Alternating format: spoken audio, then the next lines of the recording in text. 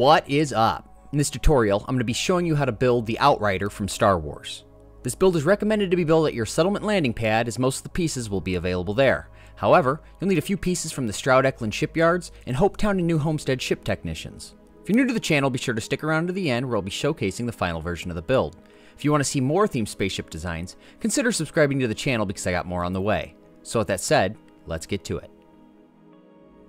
Alright, so first up, we're going to be placing our landing bay. This is going to be the Stability Pro landing bay by Stroud Eklund. So once that's placed, we're going to connect a Stroud Cap A piece, and we're going to flip it to where it's kind of upside down, and it runs flush with this landing bay piece. But we're going to snap that right to the front of, uh, of this landing bay. And uh, from here, I ended up snapping a CE-19 missile launcher to uh, the snapping point to this Stroud Cap.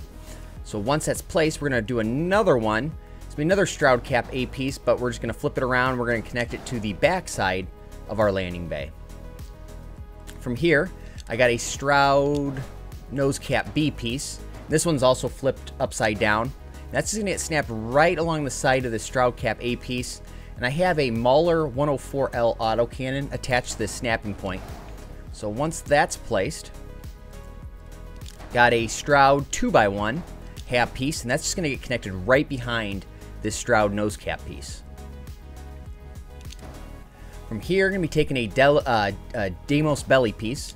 That's going to get snapped right behind the, the Stroud 2x1. And then I'm going to be taking another Stroud cap A piece.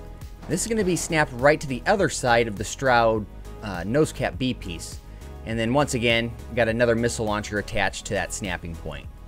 And from here, instead of it being a lander or uh, a docking bay, it's going to be a landing gear this time around. This is going to be the AccuLander 11 landing gear.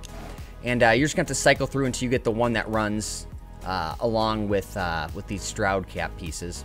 So we're just going to snap that there. And we also have another Stroud cap A piece, and that's going to get snapped right behind that one. All right, so now once all that's placed, bring this over here real quick. Uh, let's see. To be taking a Stroud one by one piece. And there's going to be a HopeTech Nose B piece attached to the front of it.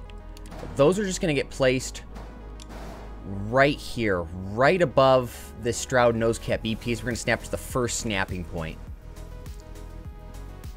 Then going to take, let's see, this Stroud two by two. Now this is going to be a unique piece. So this is going to be available at the Stroud Eklund shipyards. Um, and, you know, it, you can customize your ship. So if you don't want the 2x2, you can substitute this out for like a 2x1 or, you know, whatever. But uh, I believe that's going to go there. Yeah, that looks correct. All right, so then from here, got another Stroud 2x2. And this is going to get connected right next to the other one. All right, and then Let's see. I got the Nova Cowling 2L PF piece. This is going to get snapped uh, right along the first snapping point along the side of this, this 2x2. Then going to take uh, the Connect Pro Docker. That's going to get snapped right behind that cowling piece. Got another cowling piece, which is going to get snapped right behind this Docker Pro, or, or sorry, Docker port. And then from here, I got the Aurora 13G grav drive.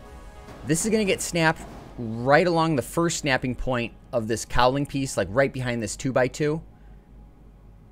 Then gonna take, this is gonna be our shield generator, uh, shield generator, the Warden SG400 shield generator. And this is gonna get snapped to this snapping point right here. So it's gonna go right in front of this Deimos belly piece. I then have my reactor. This is the Ion Beam H1030 reactor, and I think this is also available at the Stroud Eklund shipyard as well. But that's going to go just right here, just right behind this uh, this 2x2 piece right next to our shield generator. I'm then going to take a Deimos bumper piece, and that's just going to get snapped right along the side of our reactor piece. I'm then going to run three of these uh, SAE 5660 engines. And these are just going to go right behind our grav drive shield generator and reactor pieces. Those are just going to get placed right there. I'm then going to take, this is going to be a Nova Wing piece, and this is going to get snapped right this left snapping point of this 2x2. And then now I have these, uh, the Teo end caps. And these are going to go here, but uh, we're actually going to have to uh, merge glitch these in order to place them. So in order to do that, you're just going to want to place, you know, your pieces just kind of off to the side for a split second. You're then going to select it, and then see how it snaps, but it's red? In order to place it, you're just going to rotate it, and then rotate it back. And then you deselect it, once you deselect it, it should pop in into place right there. And then in order to snap it in, all you have to do is select it one more time, which it shows green, and then you just place it. And that should lock it in. We're just going to do the same thing on this side. All right. And once you do that, you've successfully merged uh, those pieces together. So now from here, I got the HopeTech Hab Cross Brace. Now this is a specialized Hab piece, so this is going to be available at uh, at the Hopetown Ship Technician. But we're going to snap that right to the uh, the back snapping point of this 2x2. Actually, I'm going to move this over.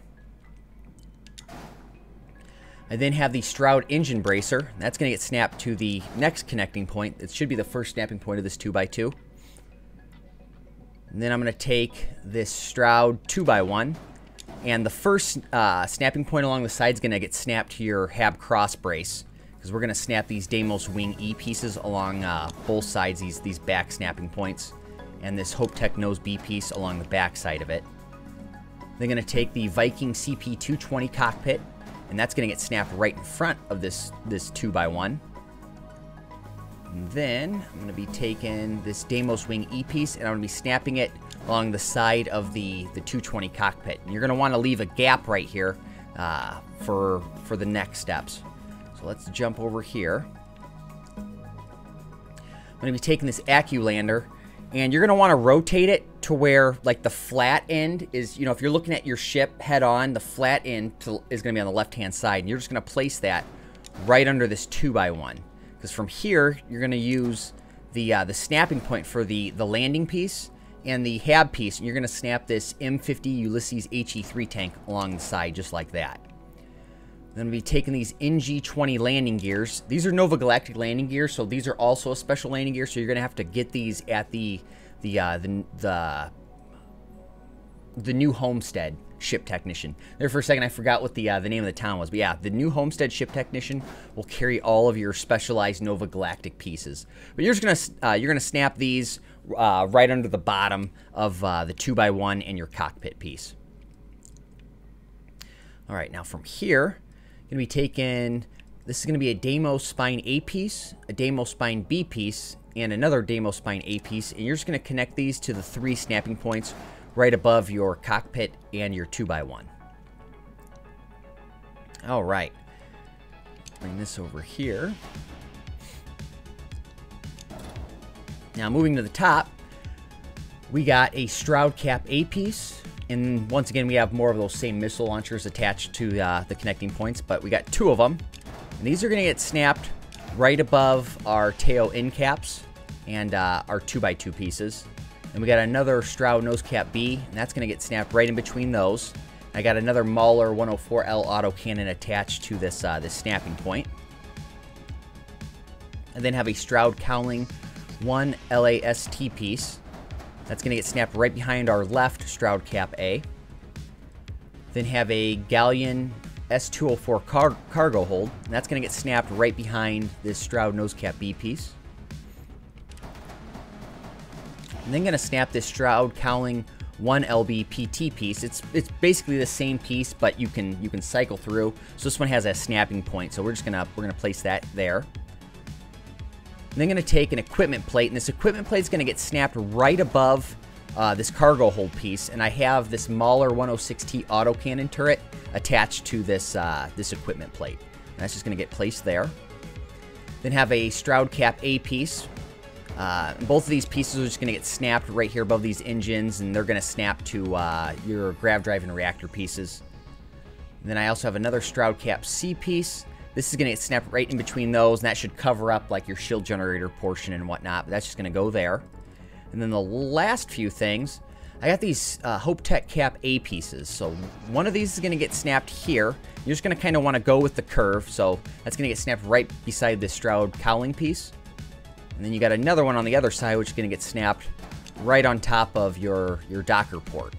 So once those are placed, that's going to complete the build.